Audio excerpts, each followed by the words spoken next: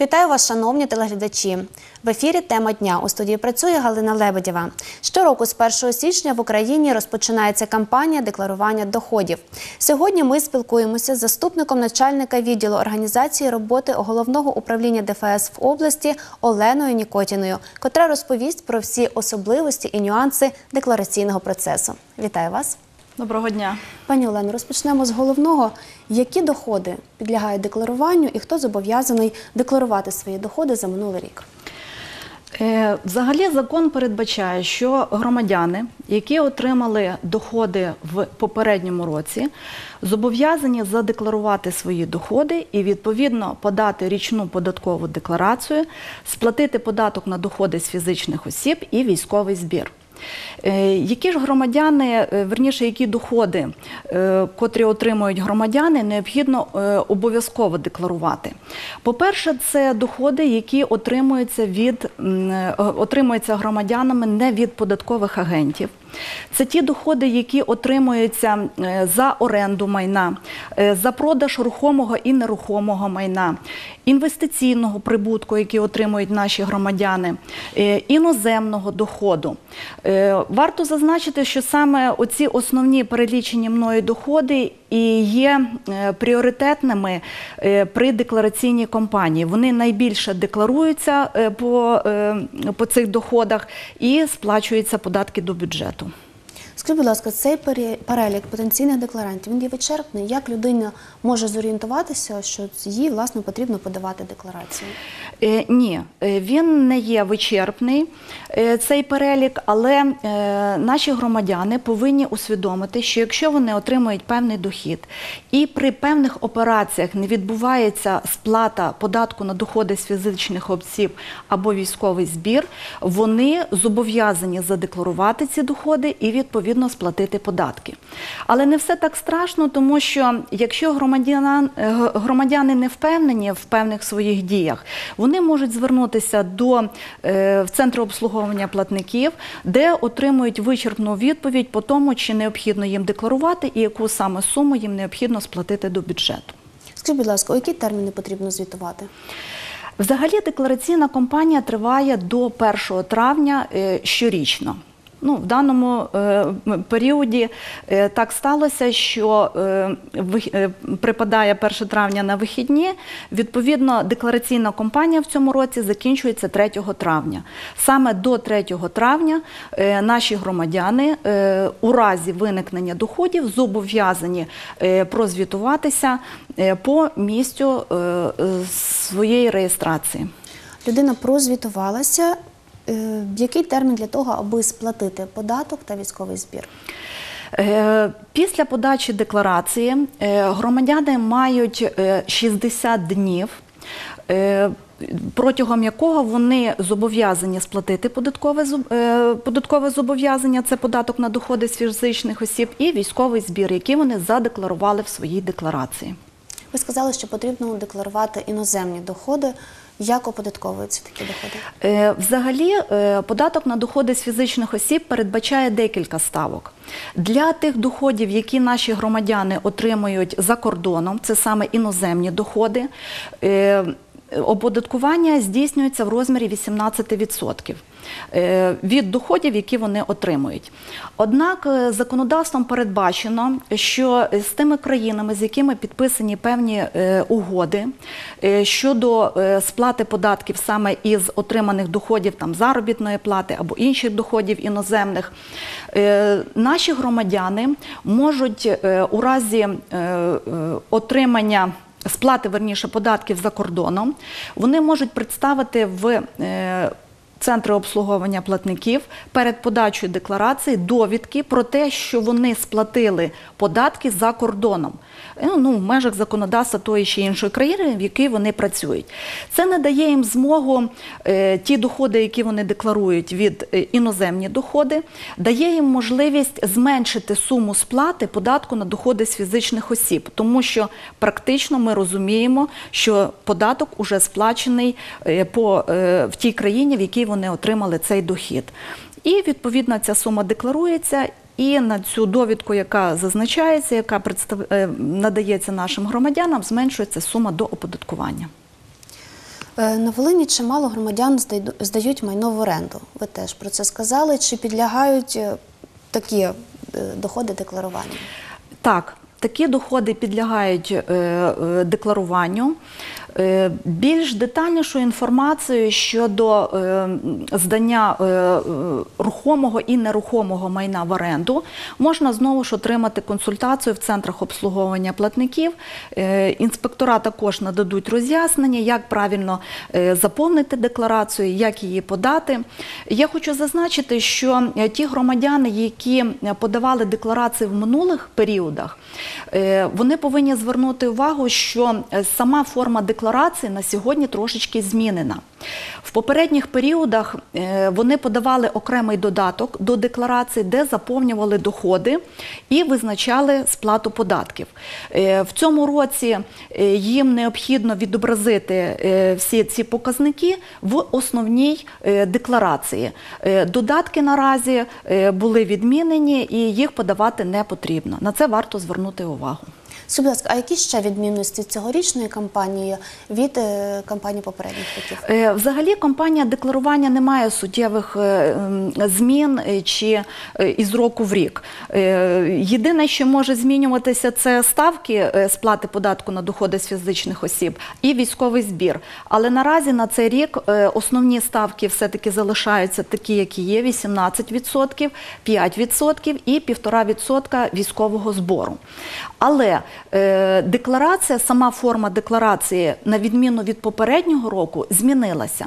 Змінилася в контексті того, що якщо раніше було досить багато додатків, і це створювало незручності для платників, тому е, все ж таки е, Міністерство фінансів пішло на зустріч е, платникам, спростило е, саму форму подання декларації, і тепер вона складається з двох додатків.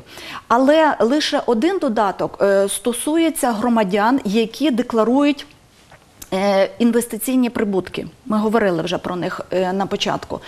Е, І другий додаток стосується суб'єктів підприємницької діяльності і осіб, які займаються незалежною професійною діяльністю. Отже, всі додатки, які раніше подавалися нашими громадянами в деклараційну кампанію, тепер відображаються в основній декларації, де додавлені рядочки, в яких інспектор в центрі обслуговування допоможе їх заповнити і розрахувати суми податку, які необхідно сплатити. Якщо говорити про Волинь, то варто зазначити, що Волинь аграрний регіон, чимало мешканців сіл мають техніку і активно надають е, послуги в обробітку землі в періоди польових робіт. Ці доходи теж потрібно декларувати. Е, Так, е, оскільки ці доходи отримують е, громадяни від надання певних послуг. В даному випадку це не є товари, це є послуги, роботи, які вони здійснюють. Так, вони повинні ці суми задекларувати е, і подати декларації, сплативши при цьому е, податки до е, бюджету. Скажіть, будь ласка, от, власне такі доходи, як іноземні доходи, доходи з оренди з оренди майна, їх дуже важко прослідкувати. Чи багато людей добросовісно приходять і заявляють про те, що з'явились такі доходи? Як можна це визначити? Як це якось контролюється? Е, Ну, по-перше, е, Державна фіскальна служба використовує ту інформацію, яка до нас надходить з різних джерел. Це можуть бути, е, наприклад, купівля-продажу да, рухомого і нерухомого майна. Це е, реєстр е, рухомого і нерухомого майна, який відображає зміну права власності. Е, При е, нотаріальному оформленні, тобто здійснення, наприклад, таких операцій, як е, договір купівлі-продажу, спадщини, дарування, все це проходить нотаріальне оформлення. І відповідно, згідно з законодавством, нотаріуси щоквартально е, подають звіти до Державної фіскальної служби про ті операції, які здійснюють наші громадяни протягом року. І це є один із джерел. Е, Які дають нам можливість прослідкувати, е, чи задекларовані, е, чи повинні декларуватися ці суми, тому що не всі доходи необхідно декларувати. Є виключення, які с- стосуються доходів, які не виникає зобов'язань, або вони виконані під час нотаріального оформлення. Тоді декларацію громадяни можуть не подавати. Це є виключення. Тому ми працюємо з цими цією інформацією. Е, Громадян інформують про те, що в них виникають такі зобов'язання. То- Тобто наші громадян не залишають наодинці, і е, фіскальна служба не є каральним органом, який ми все ж таки допомагаємо, е, розповідаємо, е, роз'яснюємо. І, і люди сприймають це досить позитивно, тому що е, не завжди всі орієнтуються в законодавстві і тих в обов'язках, які вони е, зобов'язані, чи дії, які вони зобов'язані здійснити по відношенню до тих доходів, які вони отримують. Пані Олено, відомо, що є громадяни, які користуються правом на податкову знижку. Поясніть трішки детальніше умови її отримання. Чи багато волинян користуються цим Е, правом? Я хочу сказати, що е, податкова знижка е, вона пов'язана досить тісно з тими витратами, які несуть наші громадяни у разі отримання товарів, робіт чи послуг. Зазвичай найбільш розповсюджена податкова знижка вона стосується громадян, які здійснюють оплату за навчання.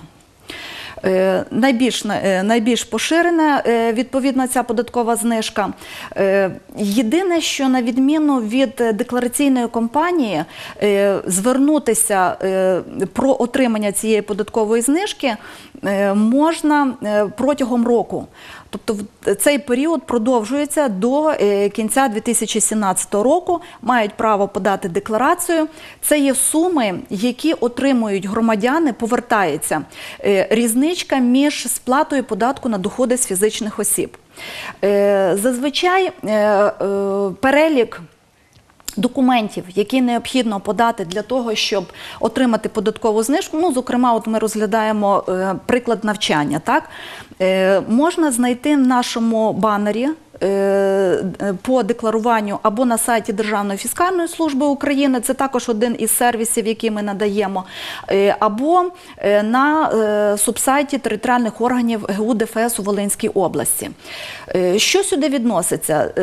Громадяни, які це можуть бути батьки, це можуть бути члени сім'ї першого ступеня споріднення, е, які е, повинні представити е, копії документів, які засвідчують їхню особу. Це договора з навчальних закладів. І основний документ, два основних документи, які впливають на розрахунок цієї податкової знижки, це довідка про доходи того декларанта, який декларує відповідно. Податкову знижку і в довідці обов'язково має бути зазначено сплата податку на доходи з фізичних осіб і е, податкова знижка, якщо е, платник користується нею, і військовий збір. І другий документ це квитанції, які відображають саме витрати, які понесені декларантом. От саме оці дві складових е, вони е, приймають участь в розрахунках. Е, Інспектор знову ж я наголошую, що в центрах обслуговування допоможуть зробити ці розрахунки. Головне, щоб були присутні оці документи при подачі цієї декларації. Робиться певні розрахунки, зазначається рахунок, на який повертаються ці кошти. Е, Тому це не є досить складною і громадянам не варто це переживати. Якщо ті, хто декларують уже декілька років, е, вони вже звикли до, до цієї процедури. А хто вперше зустрічається з, е, з, такою, з такими діями в декларуванні податкової знижки, ну я раджу обов'язково звернутися в центр обслуговування при наявності всіх цих документів і не боятися це не є страшне е, декларації. Е, Допоможуть заповнити інспектора. У нас досить кваліфіковані спеціалісти е, працюють з громадянами. Тому запрошуємо в центри обслуговування для того, щоб подати декларацію і отримати цю податкову знижку. Пані Олено, а що стосується спадку, скажіть, будь ласка, чи потрібно подавати декларацію тим, хто отримав е, спадок від родичів першого ступеня споріднення? Е, Я вже зазначала, е, але ще раз повторюся, що ті доходи, в яких, які отримують наші громадяни, і в них не виникає податкового зобов'язання, а в даному випадку дохід не оподатковується, він оподатковується за нульовою ставкою. Такі декларанти у разі отримання спадщини від першого ступеня споріднення близьких е, родичів. е, не потрібно декларувати, можна не декларувати.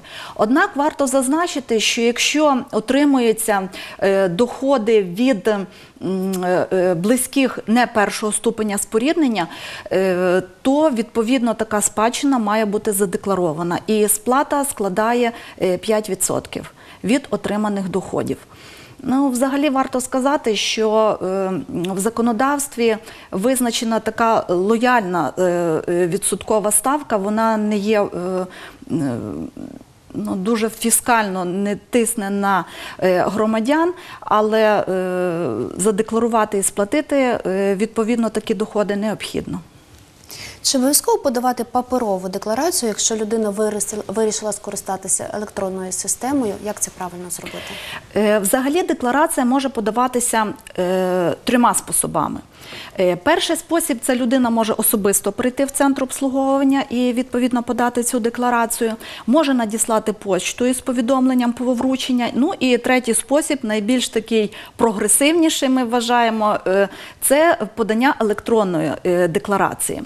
Але я хочу сказати, що е, жителі області повинні врахувати, що для того, щоб подати в електронному вигляді, обов'язково повинні отримати або е, в нас в акредитованих центрах сертифікації ключів електронні підписи, електронні ключі, які дадуть їм можливість е, зайти в електронну декларацію.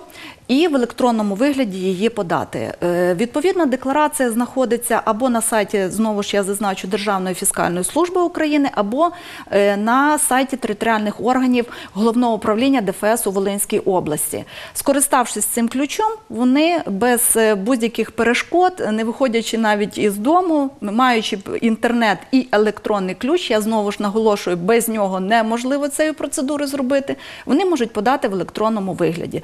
Але якщо раптом вже трапиться так, що не вийде подати, в нас в центрах обслуговування надається така послуга, і можна скористатися нашою комп'ютерною технікою, яка підключена до інтернету, для того, щоб і знову ж інспектор е, надасть кваліфіковану консультацію і допоможе подати в електронному вигляді цю декларацію. Скажіть, будь ласка, а ось цей електронний ключ його можна брати лише за місцем прописки, якщо людина перебуває в іншому місці. Е, ні, е, взагалі в нас на території області є два центри акредитації сертифікатів ключів. Це в місті Луцьку, в нас на Київському майдані 4 через центр обслуговування платників, і в Ковелі, е, також е, в центрі обслуговування платників.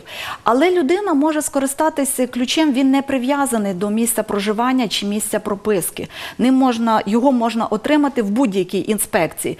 Е, Ключ це свого роду він ідентифікує твоє, твою особу і, відповідно, використовуючи певні паролі, дає можливість входити в систему не тільки для подання декларації. У нас є дуже, дуже хороший сервіс, це сервіс електронний кабінет платника податків. Він має дві складових: е, закриту і відкриту. От саме закрита частина дає можливість навіть е, от. е, для формування тої ж самої декларації, довідки про доходи, яка необхідна, я вже зазначала, обов'язковим є документом, можна сформулювати самому. В електронному кабінеті платника, тобто формується довідка для подання декларації. Але знову ж це є інформація, яку можна отримати тільки за допомогою цього ключа. Він не прив'язаний до проживання або прописки. Наскільки популярною стало е, електронне декларування? Е, Чи все-таки більшість ще паперо- паперові декларації? Е, Ну, трошечки я вам скажу, що отримуючи спадщину чи здаючи в оренду, все-таки ну, громадяни ще побоюються цієї інформації, чи дойде ця декларація, чи буде вона прийнята, чи її будуть зараховано. Тобто якісь побоювання є. Хоча е, з кожним роком е, електронне подання декларації воно поширюється. І я думаю, що е, ну, прогрес не стоїть на місці, все якось рухається. І я думаю, що громадяни звикають до того, що е, подання саме в електронній формі це буде пріоритетом при е, проведенні деклараційної кампанії. Наскільки активно волиняни декларують свої доходи? Е, Варто зазначити, що е, на початку деклараційної кампанії громадяни завжди трошечки е, в такому пасивному стані. Не всі зразу проявляють ініціативу, ідуть в інспекцію і відповідно центри обслуговування платників і відповідно подають ці декларації. Але вже ближче до закінчення деклараційної кампанії, коли ми отримуємо певну інформацію, коли ми починаємо в телефонному режимі спілкуватися з такими громадянами, е, деклараційна кампанія е, ну, пришвидшує- е, пришвидшується. Ну, я була готова до вашого запитання, тому я можу озвучити декілька цифр. Да. Ну, от з початку року задекларували вже біля 1757 громадян. Зазвичай найбільше це сума, яку задекларували громадяни. Це не є сума податків, яка сплачена. Я хочу, щоб телеглядачі розуміли це. Е, Це задекларована сума доходів, е, майже складає 115 тисяч е, е, 115 мільйонів гривень доходів. Саме з цих доходів має бути сплачено ПДФО і військовий збір, про який ми говорили. До речі, варто сказати, що в нас вже є е, два мільйонера, які задекларували свої доходи. Е, Загальна сума цих е, декларованих доходів складає 8 мільйонів гривень. Е, Але це доходи, які отримані від продажу майна. Е, Ну, взагалі, е, най, е, такі більш активніше подали декларації громадяни, які отримали спадщину, не від першого ступеня споріднення, ми говорили, це 336 громадян. Ті, що здають в оренду рухоме і нерухоме майно, 58 таких громадян. І ті, що продали власне майно, це 67 декларантів. Е, Є 10 е, громадян, які задекларували іноземні доходи, ми вже про них озвучували, і два декларанта прозвітувалися за отримання інвестиційних е, доходів. Тобто отримання е, доходу від інвестиційної діяльності. На який фінансовий ефект від деклараційної кампанії можна сподіватися цього року? Е, Взагалі кожен рік е, є своєрідним, і нам тяжко прорахувати, тому що не кожен рік продається однакова кількість майна, здається в оренду чи отримуються іноземні доходи, ну і інші доходи, які декларуються. В минулому році ця сума була досить е, значною. Це 15, майже 15 мільйонів е, гривень податку на доходи з фізичних осіб ми отримали. І відповідно було сплачено понад е, 577 тисяч гривень військового збору із загальної суми задекларованих доходів. Е, Я так думаю, що більш детальніше можна буде про це говорити. Ну чи вдалася деклараційна кампанія, чи е, виявили свій е, виконали свій конституційний обов'язок всі громадяни, які зобов'язані були задекларувати. Ну це вже ми зможемо побачити в кінці літа. Е, До 1 травня задекларуються ці доходи, а протягом 60 днів, як ми вже зазначали, ця сума має бути сплачена. Тільки тоді, за результатом закінчення саме е, деклараційної кампанії в повному обсязі, ми можемо сказати чи прогнозувати, чи буде ця сума більше, ніж це було в попередніх е, роках, чи буде меншою. Ну, побачимо. Пані Олено, а хто і як перевіряє подані громадянами декларації на їхню на достовірність? Е, Я вже говорила, і ми е, на початку говорили про те, що для того, щоб взагалі відслідкувати, чи в повній мірі подані е, всі декларанти задекларували доходи, які зобов'язані були задекларувати, ми використовуємо ряд інформацій. Відповідно, ці інформації опрацьовуються.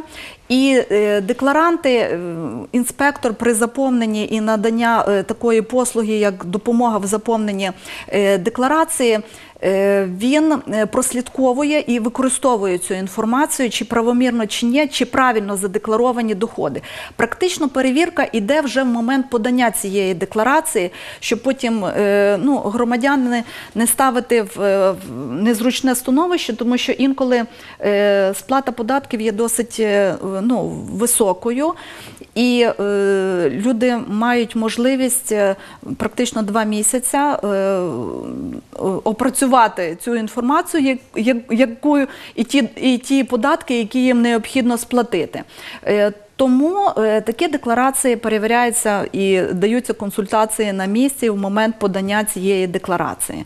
Ну але не варто з цим зволікати, тому що е, якщо ви впевнені, що у вас є такі доходи, то краще задекларувати, тому що за У, у разі, якщо декларація не подається в таких випадках, е, ми маємо право застосовувати е, штрафні санкції. От, власне, яка відповідальність тягне за собою неподання або несвоєчасне подання, неправильні дані, можливо, Е, вказані? Взагалі, декларація вона так і називається податкова декларація про доходи і витрати.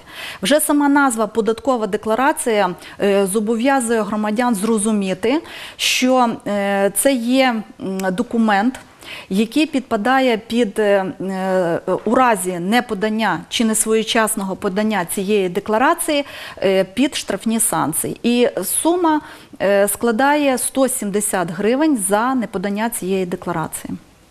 Пані Олено, я дуже дякую вам за розмову. Дякую, що знайшли час, завітали до нас. Нашим глядачам я нагадаю, що сьогодні у студії була заступник начальника відділу організації роботи головного управління ДФС в області Олена Нікотіна. Усім дякую за увагу. На все добре. До зустрічі на каналі Нова Волинь.